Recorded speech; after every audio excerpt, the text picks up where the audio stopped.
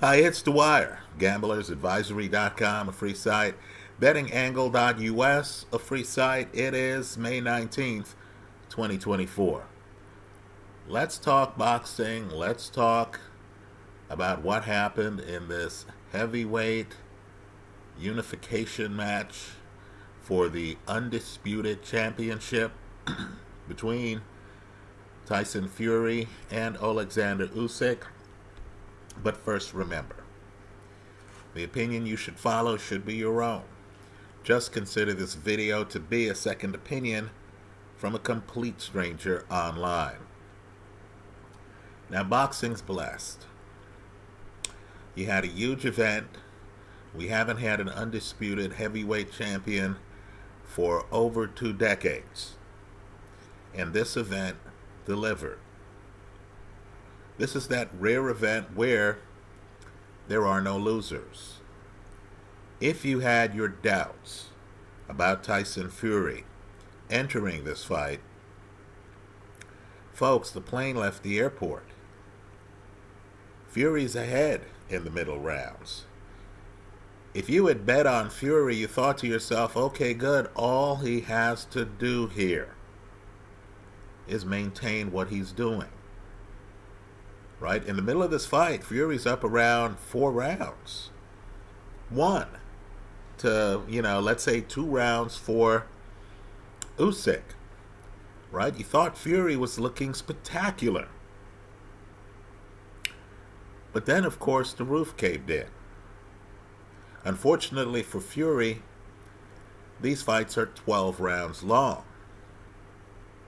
Somehow, Usyk predictably on his front foot. Right by the middle of the fight, you understand. He's trying to crash the pocket. He's coming in, just picture yourself looking forward. Imagine a clock. He's coming in at 11 o'clock continually on Tyson Fury's left shoulder. Now, we're in an era where the epicenter of the heavyweight division has been the United Kingdom.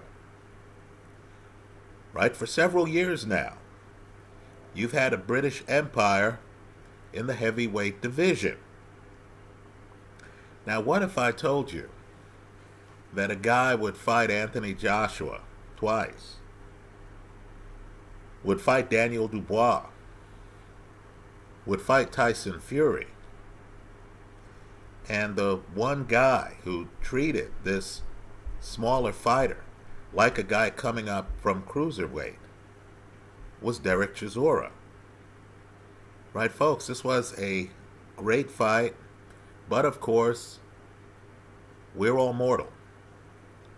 Understand mistakes were made. I'm not sure. And I thought before the fight that the betting side of the play was Usyk, right? Made a few videos on that. But I'm not sure if this fight turns out the same way the second time around. Let me also say, too, I'm one of those people who is very happy, and I mean very happy, that they actually named someone the winner of this fight. Right? Because, quite frankly, understand, since Usyk is being stripped of one of the belts, right? This is uh, this is boxing. Politics is king. It may have been another two decades before we got one of these unification matches for the undisputed heavyweight champion. Right? Understand, of the two fights these guys have signed up for, this was the fight that was going to crown the undisputed heavyweight champion. Let me also say, too, that I applaud Tyson Fury for making the decision to rethink whether he wants an immediate rematch with Usyk. Right? Understand, there's some other lions out there in the forest. You've heard me mention the guy's name several times. It's Filip Hrgovic. You also have a whole generation that's missing from the discussion in terms of heavyweight champion, right? Too many of the guys are in their 30s. Just add up the ages of the fighters. Right here, the young man was Tyson Fury, and he's 35. Wasn't there a time when 22 year old Muhammad Ali became heavyweight champion? Wasn't there a time when an even younger Mike Tyson became heavyweight champion? Right? Think of the guys who are in their 20s right now Big Baby, Jared Anderson, Ricardo Torres, right? Who won this weekend as well in a match against another unbeaten fighter. Right, folks? The youngsters are going to grow up. We might as well start paying attention to them before they end up in college. Right? So I'm grateful Tyson Fury has taken a step back. He's lost his unbeaten status. Right? He needs to think about whether he wants to challenge Filip Hrgovic. Understand the heavyweight title is again fractured. Right? This was one of those you're undisputed for five minutes. Now we're going to give one of your belts to someone else. but you end up in the books with Lennox Lewis. Right? So let's talk about let's talk about this fight Let's talk about the mistakes people made. Let's talk about what people did well. Let's talk about how the outcome could have been different. Right? Let me just say Tyson Fury's strategy early on was brilliant. If you want to see Tyson Fury at his best, look at this fight early. He comes out and he's jabbing the Usyk's body while dancing, while using reach. He's doing things only a six nine guy with legs, a mobile jab, and coordination can do. he's using his reach to the point where he's able to hit Usyk in the body, and he does so repeatedly. He's able to hit Usyk in the body, and Usyk, who's planning a counter, throws the counter and misses completely. Right? I'm telling you, there were moments in this fight where you looked at the fighters and you thought, okay, the shorter guy's the better athlete. But the more skilled fighter is the taller guy. I thought Fury early in this fight showed you that he's more skilled. He can do more things. Life's unfair. He's six nine with reach and coordination. He can do more things. He's more special than Alexander Usyk. But let's also point out the problems. Fury comes in and he's a bit dirty, isn't he? He's cheating, isn't he? It's cheating at a high level, but it's cheating, isn't it? He's using his jab hand as a pathfinder, just like he did in the second Deontay Wilder fight. He's sticking it out. He understands he has a reach advantage on the shorter man. He's making sure the shorter man stays outside. Now, this is something he has to have worked on extensively with SugarHill Steward. Right? Yeah, I'm calling out even the trainer. Right? So here is Tyson Fury. He's throwing jabs to the shorter man's body. And then he stops throwing jabs and he just sticks his hand out. That's where we are in this fight. Let's also call out the powers that be in boxing. One guy is six nine. The other guy is bigger than Sonny Liston. Right? Don't you need a young, vibrant referee in the ring with these guys? Don't you need a guy who understands, just given what happened in the Daniel Dubois fight, that parts of this fight are going to be rough and tumble? They're going to feature body shots. Right? The stakes are as high as they could be undisputed at heavyweight. Right? What are we doing? I'm not saying the ref did a bad job, but what are we doing with this older referee who's dwarfed by the fighters? I thought, how's this guy gonna push these guys apart?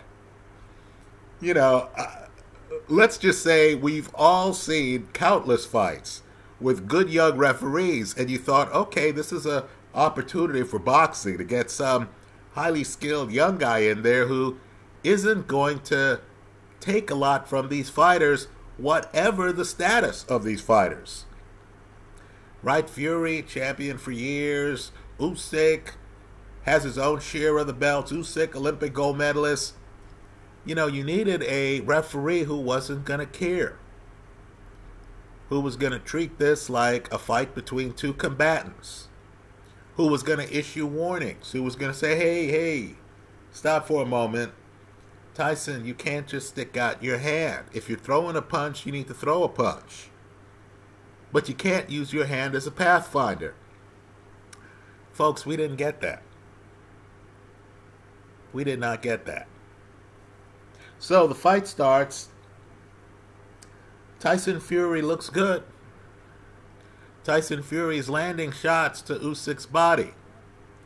Now, Usyk, going into the fight, came across as multifaceted, didn't he? But in the fight, it's amazing, isn't it? He starts to rely extensively on his front foot. By the way, this is a front foot we did not see for several rounds against Derek Chisora. Right? Chisora treated Usyk as if he was a cruiserweight visitor to the division. Right? Usyk's too busy with his backup against the ropes, against Derek Chisora. Right? Chisora must be looking around at his fellow countrymen and must be wondering, wow, are these guys even watching my fights? Didn't I show you the way to back up Usyk? Here, Usyk's in against a six-nine guy. And he's on his front foot, and he's trying to throw his Sunday punch, which is his somewhat straight, right? It's not a pure straight left hand. It's a somewhat straight left hand. Has a little bit of a curve on it. But understand, after being hit in the body, after being outboxed up close early, Usyk decides he's gonna hurt Tyson Fury. I don't believe Usyk's in this fight for a decision. Now, this is boxing. It has a history. There's a fight that tracks this one somewhat. Like this fight, it's one of the biggest fights in boxing history. Let me point out this fight Fury Usyk's a better fight than the fight I'm about to discuss. But it's the same dynamic. Taller man. Muhammad Ali against a shorter man, Joe Frazier. And Frazier comes in and just like Usyk decides, you know what, I'm going to land some left hands. I want a stoppage. I'm not intimidated by the other guy's height. I don't think the other guy can scrap with me. Well, understand, folks, that's Usyk, the fighter we know about coming into this fight. The guy with lateral movement and, you know, uh, an ability to move away from Arthur Beterbiev in the amateurs, right? The guy who beats a more prime Mairis Briedis, by the way, masterful fight by Jai Opetaia. We'll talk about that in a different video, right? I was wrong on that fight. Fortunately, the overhit for the hedge but understand here, this becomes an exercise, doesn't it? Just like Ali Frazier won. In the shorter man hunting down the bigger man. Even when Tyson Fury's having success, he's on his back foot, isn't he? Right? It's it's a bit shocking. I didn't quite understand it. Let me just say, too, Usyk increasingly becomes one handed, doesn't he? We know he has a high right hand. I don't mean to diminish it. He has a high right hand.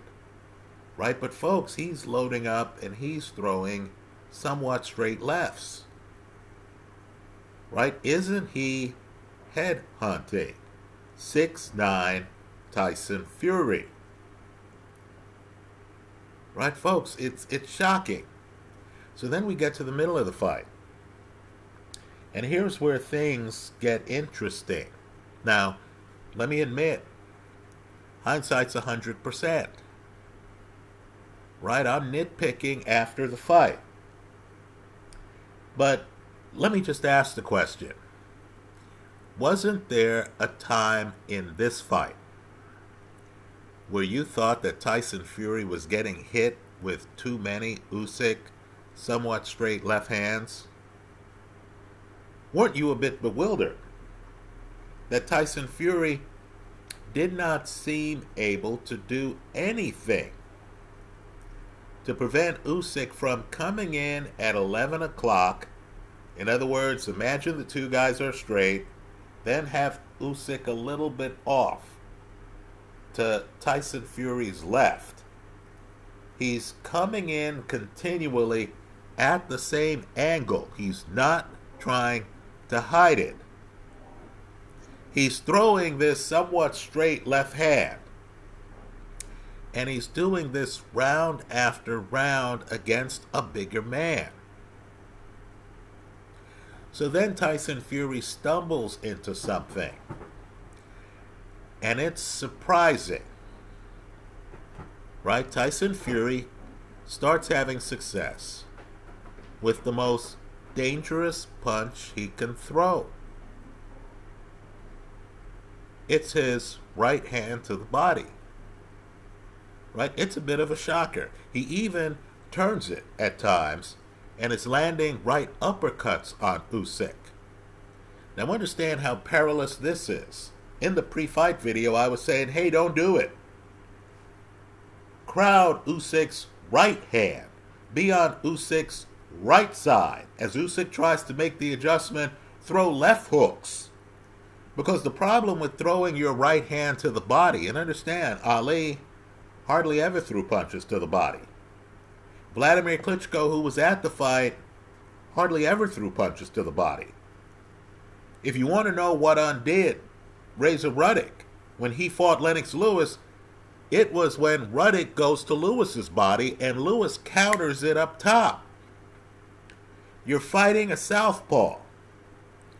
When you throw shots with your right hand to the body, aren't you open up top in a fight where you're already getting hit with too many left hands? Aren't you giving Usyk an opportunity to counter the right hand? Not if you're Tyson Fury. I applaud Team Fury for this. Fury figures out a way to be on the outside, to pick the timing, and then to jump in the pocket to throw right hands to Usyk's body that Usyk's unprepared to counter. Right, folks? It's a hold your breath moment in this fight. Fury discovers the right hand to the body. He's landing it with some regularity. You look down on your scorecard and you thought Fury's winning this fight, and now he's found a decisive punch. You thought this fight was over. But understand, Fury makes mistakes, right? What's Fury doing up on the ropes? right, against an opponent who you know can be mobile. Right? Fury, of course, never figures out, I mean, never figures out what to do with Usyk's right hand. I saw Fury at times sticking his right hand out. But Usyk was able to get around the right hand. He'd throw that left over the right hand right? Fury has a hard time blocking Usyk's straight left. I should say somewhat straight left. Then we get to the ninth round. Folks, this is one of the biggest rounds in heavyweight history. Usyk comes in, and of course he lands a left hand, right? Of course, when I say Usyk comes in, you're thinking to yourself, well, Rich, tell us the round because Usyk's coming inside on Big Tyson Fury every round. Right? I'd love to hear an interview of a big man, some bully type guy, right? George Foreman comes to mind, right? You know, I like to mention George Foreman, he really was singular. Um, if you're landing the types of right hands to the body that Tyson Fury is able to land in the seventh and eighth round, you thought if you're the bigger man, wouldn't you then reach forward at that point because you're hitting Usyk and Usyk looks hurt? Wouldn't you come forward and you're, you're cheating already using your left as a pathfinder? Wouldn't you come forward and push the guy? I want people to revisit Foreman Frazier. Right? Both fights, they did fight a second time, but the first fight where Foreman takes the title. Right? Foreman's a bigger man, he's fighting a smaller man. He literally is pushing Joe Frazier. Doesn't want Frazier to get inside like Usyk's getting inside here wants to discourage Frazier from always being front foot, like Usyk is front foot here. And so Foreman's pushing the shorter guy, right? We understand Usyk's hard to clinch. But understand, you're the bigger man. Shouldn't you at least be pushing him around? Right? Fury has the lead. Why is Fury always on his back foot? Then when Fury lands big shots, body shots, one point an uppercut, right, with the right hand, as Fury is landing these body shots, why couldn't he use size at that point? Come forward, try to clinch Usyk. If Usyk doesn't, you know, allow the clinch, wouldn't he push him? Right? Lennox Lewis, Mike Tyson, another bigger man, smaller man fight. Lewis clearly watched the George Foreman fight because Lewis in that fight is pushing Tyson with both hands. Right?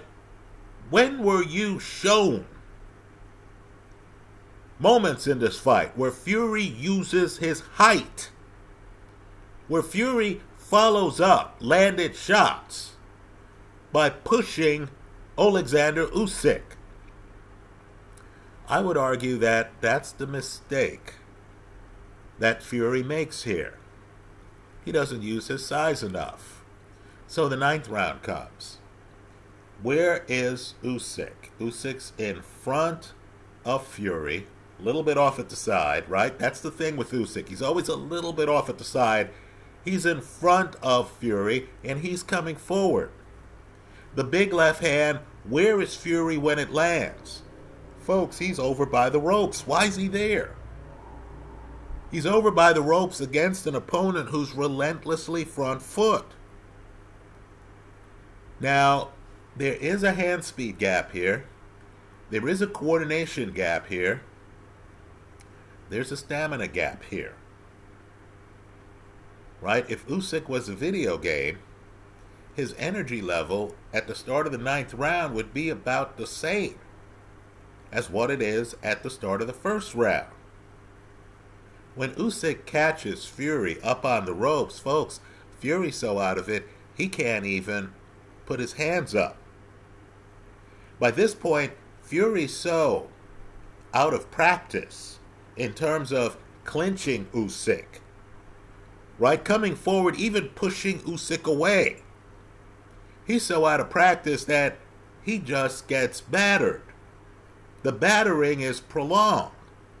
The ropes aren't supposed to save you from falling.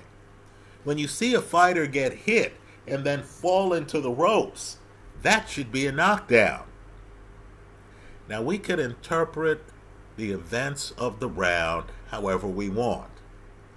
I would argue that Fury is clearly out of it when he hits the rope on the side. In other words, he falls into the rope. Now, boxing hangs on seconds, as we all know.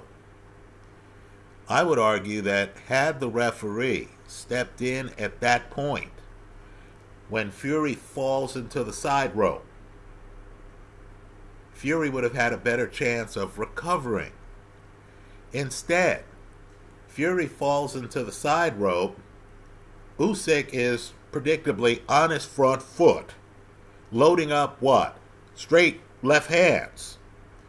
Right? Usyk follows him, bludgeons him some more. It's only when Tyson Fury falls into the corner after he's taken a few more shots while hurt that the referee steps in and starts the count. Right? But make no mistake, folks, Fury's so battered, he could have been ruled down for falling in the side rope before he clearly falls in the corner.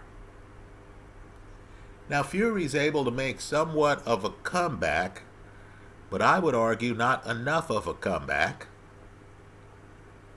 I would also argue that that round is the iconic round of this fight. So when you see a fight like this, where Fury never has control of Usyk's straight left, I'll call it again a somewhat straight left. He never has control of Usyk's left hand. Right? Never. Um, even though he's the much bigger man, you see them, he looks like the much bigger man. You don't get the feeling he's able to push Usyk around like Foreman did Frazier and like Lennox Lewis did Mike Tyson. Right? You don't feel the size. Even when Usyk's getting hit with shots, Fury doesn't use the opportunity to lean on him to try to drain his stamina.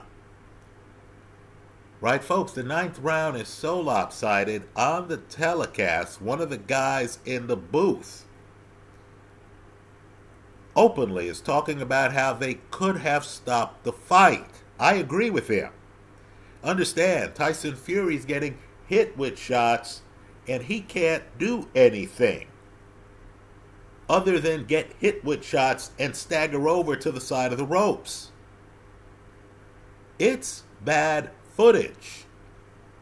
Now, Fury does recover. Let's remember Fury comes back after getting knocked down twice, the second time real hard, by Deontay Wilder. Right? Fury's a guy who comes back. We'd be remembering this fight differently. We'd be salivating at the idea of a rematch. Many of us are anyway. Had they called the fight in the ninth round, right? Had the ref come over and waved it off, there'd be a lot of people who would say, hey, that was premature. There'd be others who would say, hey, how many punches are we supposed to see Tyson Fury take in a match? Understand that Fury would have been ahead on the scorecards. But of course, knockouts count in boxing he would have been stopped. We would debate whether it was a lucky punch, even though by that stage, Usyk had landed several straight, somewhat straight left hands. Right? Instead, the fight lingered, opening the door to controversy. Fury comes back. He's bluffing a little bit, but he does look good. He, he at least looks spirited in the 10th round. Right? We'll give him that. But I would say the judges saw one guy who looked like a better athlete, who had the much faster hands. Fury does well when length is involved. Usyk does better when he gets in close. Let me also say, too, that I'm missing something here. Obviously, the view from outside of the ring is different than in the ring. Anthony Joshua has an excellent left hook. For some reason against Usyk, there's some dynamic where guys keep the left hook in the holster. I was looking at Tyson Fury. Now understand, Mairis Briedis threw the left hook against Usyk. Had some success with it. I was looking at this fight and I was wondering why Fury wasn't over on Usyk's right side. Understand, while Usyk has a decent right hand, it's not close to his left hand. Right? Just like Joe Frazier had a great left hook, his right hand wasn't legendary.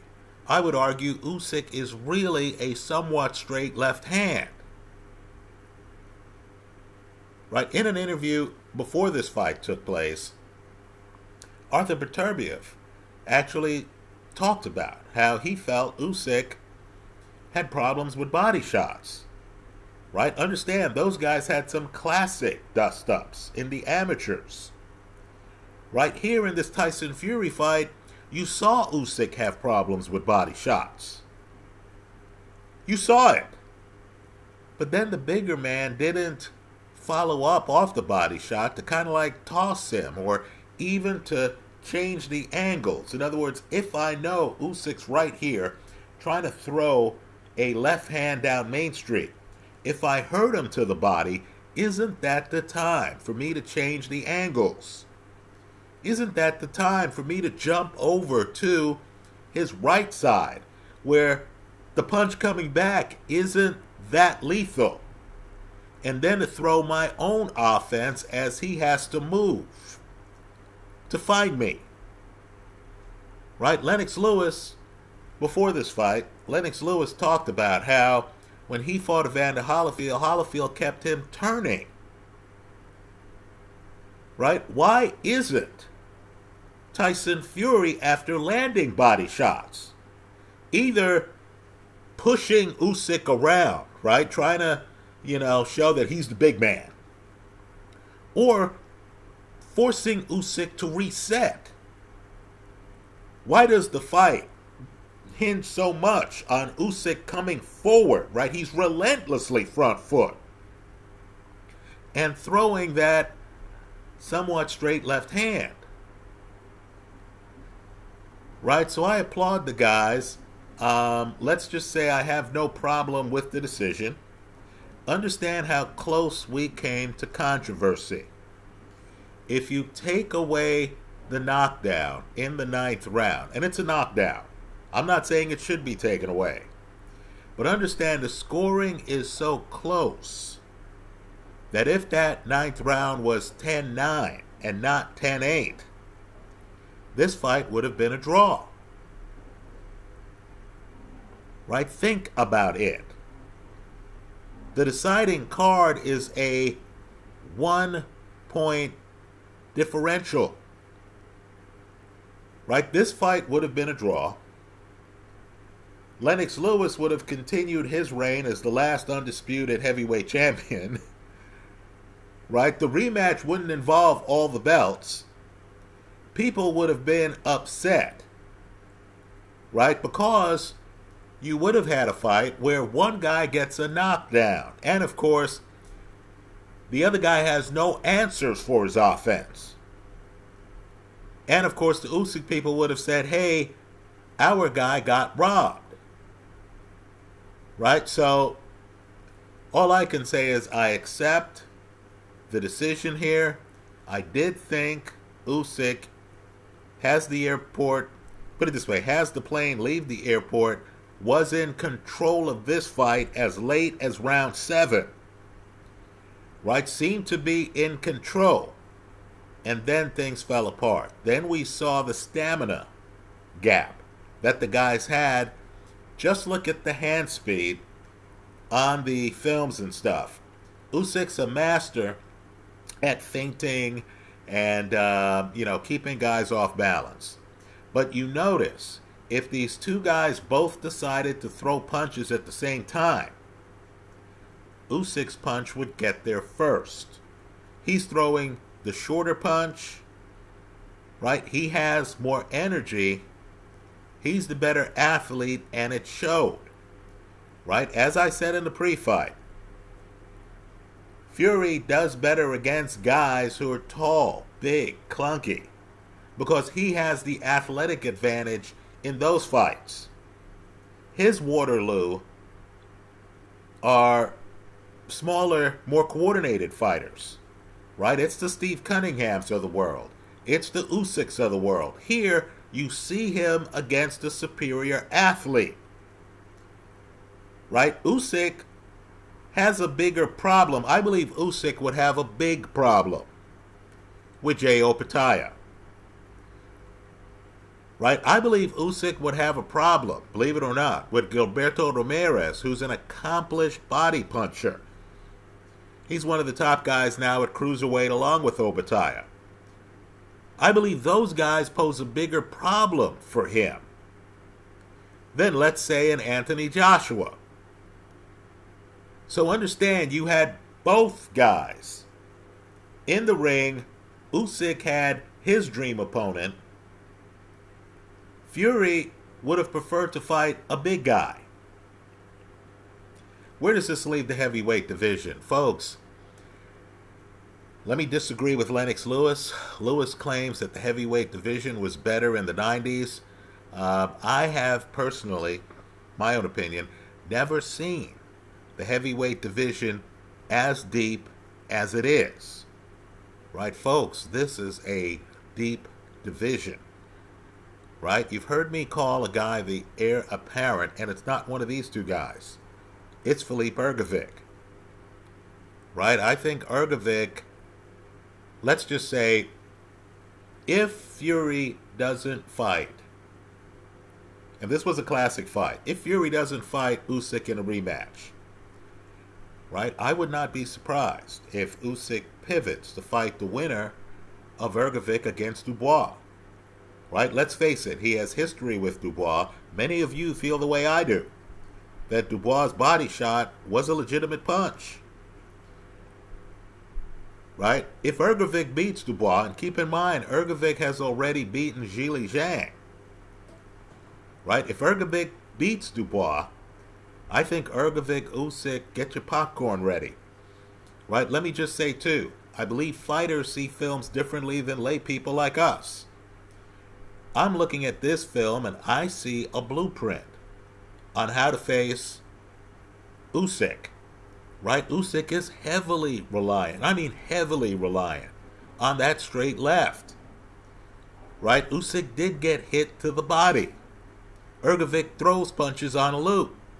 Let me also point out too, the fact that Usyk is a southpaw is a nice novelty until you realize that Luis Ortiz, and I know he's in his 40s, folks, he's a tough matchup. Right? I'll agree his chin isn't quite what it was. We all saw the Charles Martin fight. Right? Andy Ruiz, we saw that fight. Right? But I believe, you know, Luis Ortiz would know how to deal with that straight left. Right? I'll agree Southpaws are more accustomed to fighting righties. But let's just say because Luis Ortiz himself throws the same punch, has much of the same fight pattern as Usyk, I think that's a great fight.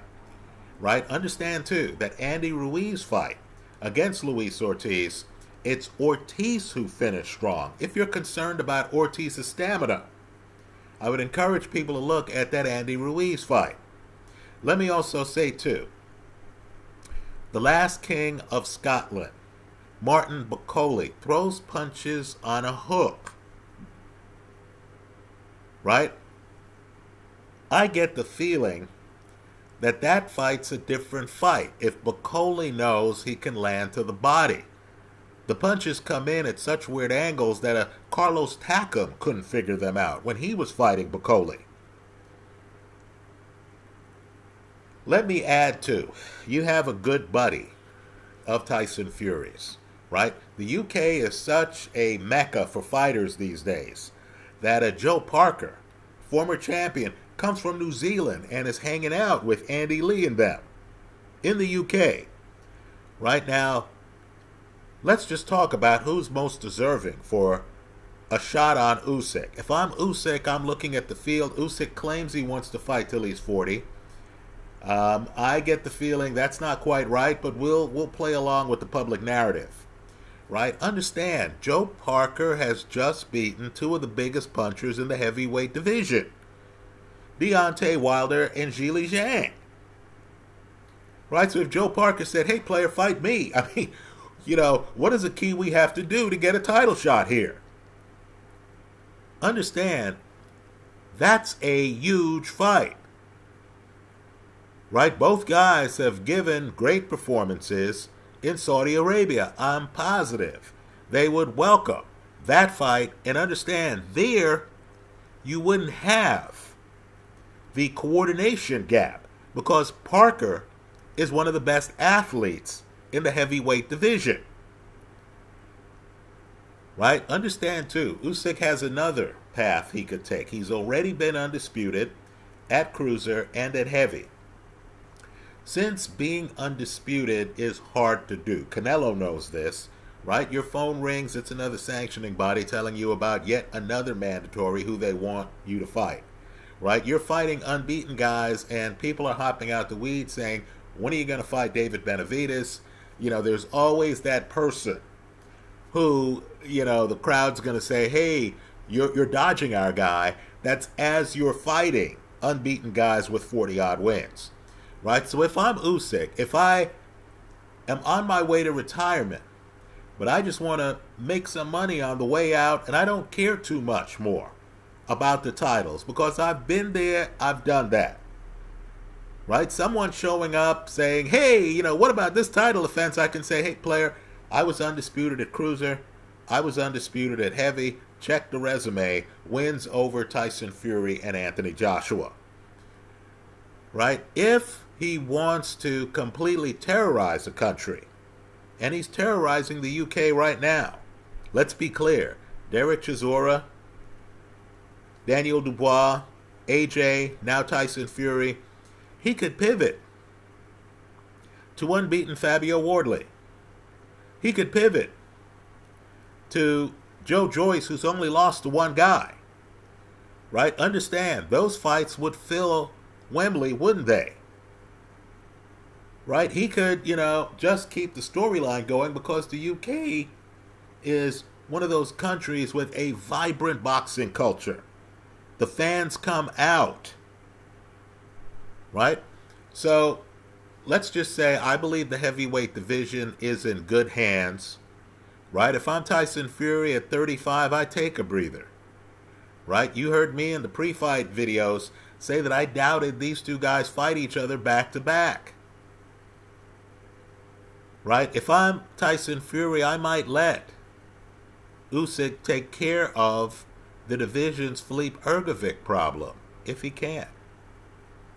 Right? If he can't, well, who's more deserving of fighting the winner of Usyk Hrgovic than the man who just lost a split decision by one point on the third scorecard? Great fight.